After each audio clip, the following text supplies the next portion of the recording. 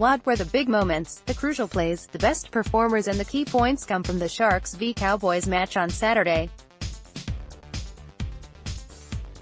Here's what we thought one good things happen when you hold the ball the second half against the Titans was littered with errors, as was the first 40 minutes when the Sharks faced the Cowboys. On Saturday a 10-error first half had helped the Cowboys take a 10-6 lead to the break, with the message likely a simple one from coach John Morris in the sheds at halftime.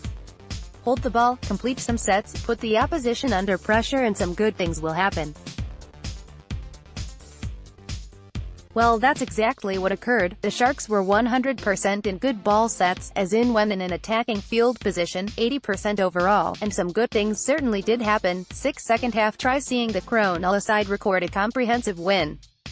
They held the ball and plenty of good things certainly did take place in an impressive second-half performance, to a win, but a tough night for the skipper. It was meant to be a night for captain Paul Gallen to celebrate in playing a club record 329th game for the Cronulla club. His father Gary presented his jersey in am emotional prelude. The milestone was much was spoken about in the lead-up, with Gallen looking to make his mark on the game. It was the Gallen we've become accustomed to in the early exchanges, his workload was high, then an offload from the skipper resulted in the Sharks' first try, scored by Chad Townsend. but unfortunately his night was cut short by a rib injury which forced him off in just the 23rd minute of the first half, a problem becoming worse when he started cooling down, with Gallen unable to return. Despite missing their inspirational leader the Sharks dug in, turned on a spectacular second 40 minutes and got the result in emphatic fashion. Not one to get too carried away with his milestone matches, all Gallen really wanted was a win and that's what his team delivered. It was a tough night for the skipper, but in bringing home the points, he got what he really wanted most from his record-breaking day. 3. The brothers Brailey Much has been written and said about the Brailey brothers, Jayden and Blayke the Sharks hooking duo currently impressing all with their play at dummy half. Jayden started the game against the Cowboys, handing in a typical hard-working effort, his 33 tackles a game high for his team, with a line break, 2 try assists and 55 running meters indicating a strong all-round performance. With the Sharks holding a narrow two-point lead early in the second half Brailey found space and sliced through, laying on the Townsend try, a four-pointer which broke the resolve of the North Queensland side. In the humid conditions, Jayden got through 65 minutes before being substituted by Blayke, the younger sibling bringing energy and a slick service from dummy half. His efforts were rewarded late in the contest when he accepted a Matt Prior offload to score his first NRL try. But it was then a Brailey double act for the final 11 minutes when injury disrupted the Sharks lineup. Jayden was thrown back onto play lock and to tie up the middle of the field defensively, as Blayke continued at dummy half.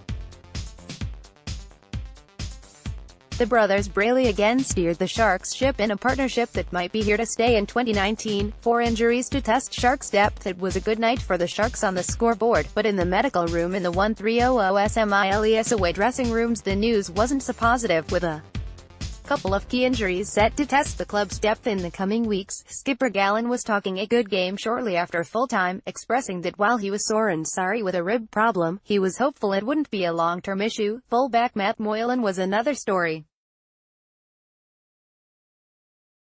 Feeling a pop in his hamstring late in the contest. Moylan and Sharks medical staff won't be certain as to the severity of his injury until scans are conducted on Sunday evening or Monday morning, with potentially both Gallen and Moylan missing from the side to play the Eels. The Sharks will need to come up with a couple of suitable replacements. Young lock Jack Williams was outstanding against the Cowboys, his power with the football in hand and aggression in defense suggesting he has put himself in the frame to wear the 13 jersey.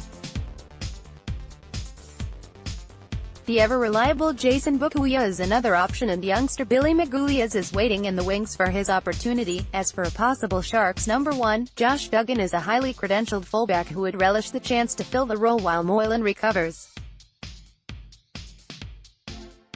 and that leaves a center position open, giving Coach Morris the decision whether or not to unleash the highly rated Bronson Xerri. Stay tuned for the team announcement on Tuesday. 5 The jersey looking good first it was Ace Gutters Duracoat becoming the major jersey sponsor. Now two more corporate partners have jumped on board, adding their branding to the Sharks NRL jersey and throwing their support behind the Cronulla club.